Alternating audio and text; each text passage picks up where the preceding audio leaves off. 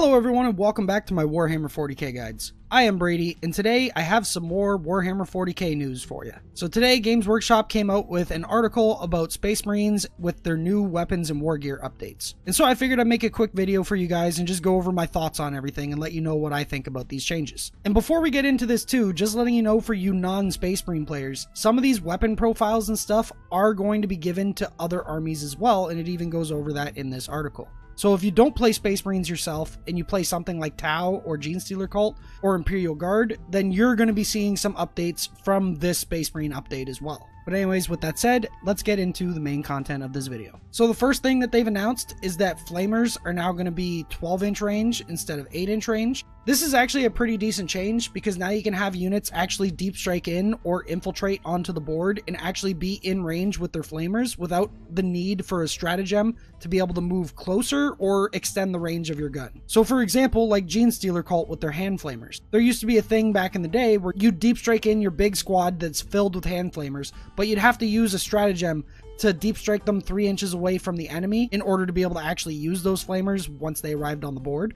But now it looks like you're not going to need that stratagem. You can just deep strike in with those guys and be able to shoot all your hand flamers without needing that stratagem. Because even like if you're using salamanders now, you don't necessarily need to use the successor trait for long range marksman to be able to infiltrate a unit of like three aggressors and have them be able to reach the enemy you can now use traditional main chapter salamanders and be able to reach the enemy with your flamers once you infiltrate in. And then of course heavy flamers, same thing, also up to 12 inch range. Basically I assume every flamer profile in the game is going to go up to 12 inches at least. And then for stuff like Bale Flamers, I'm assuming those are still going to stay the same range that they were because they were already over 12 inches. So now let's go into the changes about Meltas. So for the Multi-Melta, which is a weapon we pretty much never saw in 8th edition at all, they're now increasing it to Heavy 2, which is good, it's double the shots that it used to be. But now it also has a new ability. Instead of being able to roll two dice and pick the highest for your damage when you're within half range, you now get your d6 plus 2 damage for each attack.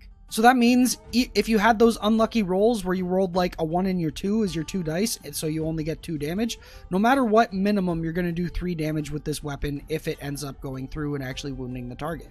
Again, though, this is only when it's made at half range, and to be honest, in my games in 9th edition so far, Every time I've played with something like a Melta, mainly my Eradicator squads when I played Space Marines, I was almost never within half range, and the only time I could think that I would be within half range is if I opted to infiltrate a unit of aggressors, which I never did. The only problem with that, though, is against a good opponent, you could be screened out so that you can't really shoot the target you want to anyways to be able to get that plus two damage, and you're going to end up just shooting them at max range anyways, or close to max range, or at least above half your range, so you're not going to get that extra two damage per shot. But it is still a nice little benefit that you get if you do end up finding yourself within half range of your weapon. So to me, the part I like more about this is actually it doubling in the amount of shots it gets, and to me, this ability is better than roll two dice and pick the highest because now you have a maximum of eight damage you can do instead of just six, with a minimum of three instead of just one. But this part is definitely going to be situational and not something you see every game,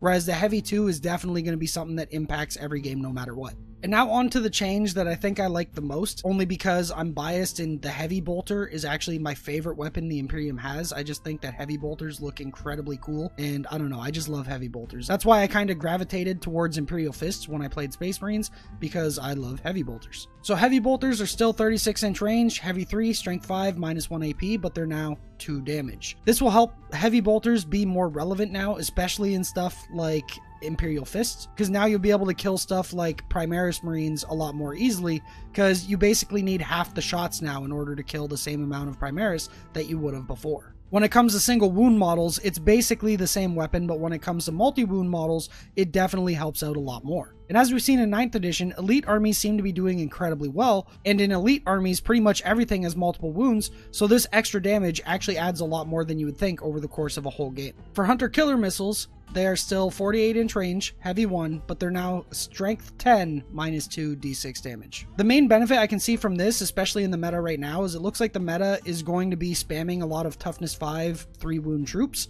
And so now this will actually wound those units on two instead of three. That's the main upside I see to this change is being able to help fight against like Custodes or even some of the new Space Marines that are coming out. It also means there's some other targets too that you'll wound a little bit better Like against Imperial Knights, you'll now wound them on 3s instead of 4s. Or any other toughness 8 thing in the game, like Plague Burst Crawlers, you wound them on 3s instead of 4s. So overall, this is a nice little change to the Hunter Killer Missile. Moving on to the melee weapons. The first melee weapon is the Astartes Chainsword, and it does say right here that this is just for Astartes armies. So this isn't going to replace chainswords that you have in stuff like Astra Militarum, for example.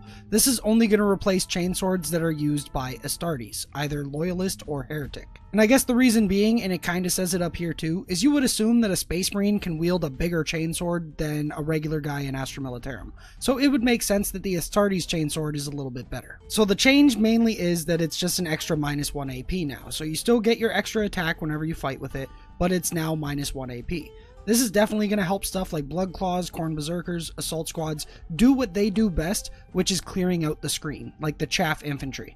Especially when you consider too that it was announced that all of these different units are now going to have two wounds as well, so they're basically going to be Primaris. That's going to be a pretty big buff overall to all of these units, or basically any unit that does use chainswords as their main source of damage. So you're not only going to get like a ton of attacks because of this ability right here, but now you also have the extra minus 1 AP, which is going to help you kill pretty much everything that's not super heavily armored. Really good at clearing the chaff infantry, or possibly even like other marines as long as they're not like toughness 5 or have a 2 up save. So overall, I definitely like this change.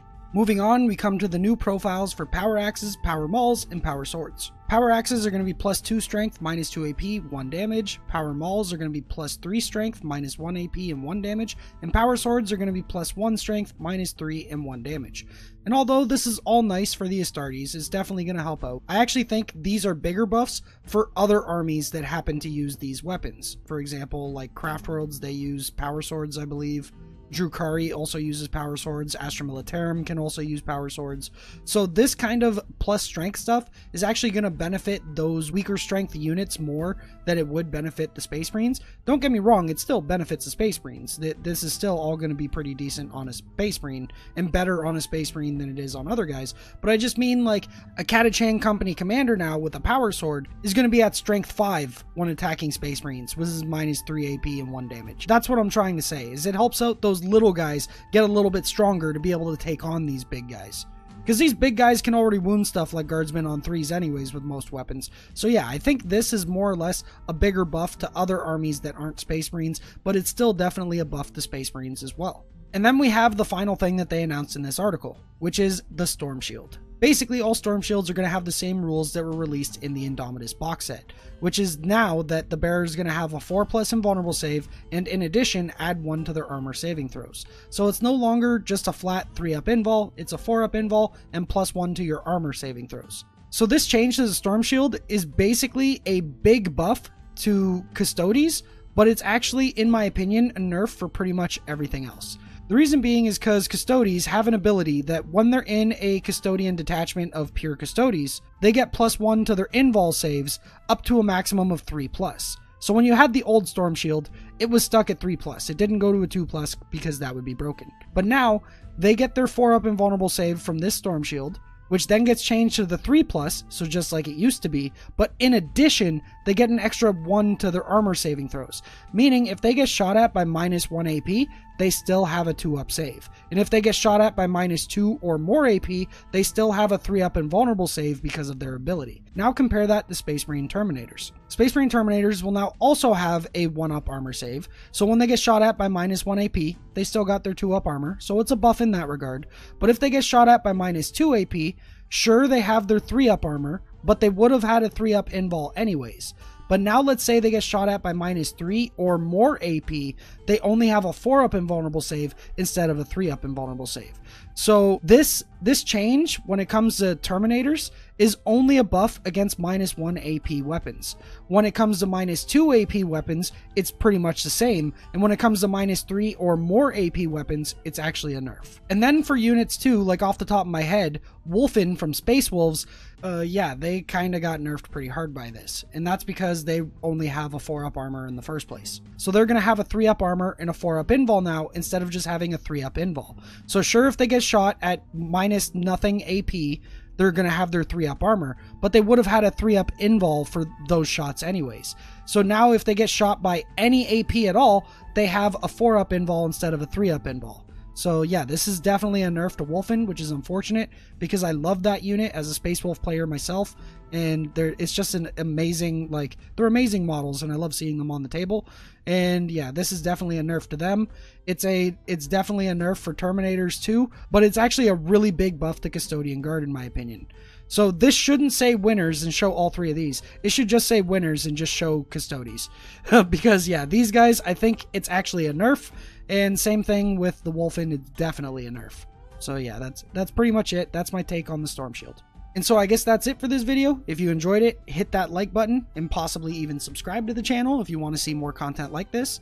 Also, if you enjoy what I do here on the channel, please be sure to check me out on Patreon if you want to make some sort of monetary investment to help keep my lights on, since Patreon is the main source of income for this channel. I do offer a bunch of rewards for different patron pledges, stuff like exclusive access to the Almost Pro Gaming Discord server, personalized coaching, custom list building, all that kind of fun stuff. So if you want to help the channel while getting some help yourself, then check out the Patreon page. The link will be in the description of this video, and yeah, consider making a pledge. With that said, thanks to all my past and current patrons. You guys and gals are awesome. I love you all. And thanks to all you regular viewers as well. The channel definitely wouldn't be where it's at today if it wasn't for you guys enjoying my content and watching my videos. And I guess that's it. So thanks for watching, and I'll see you in the next video. Happy wargaming.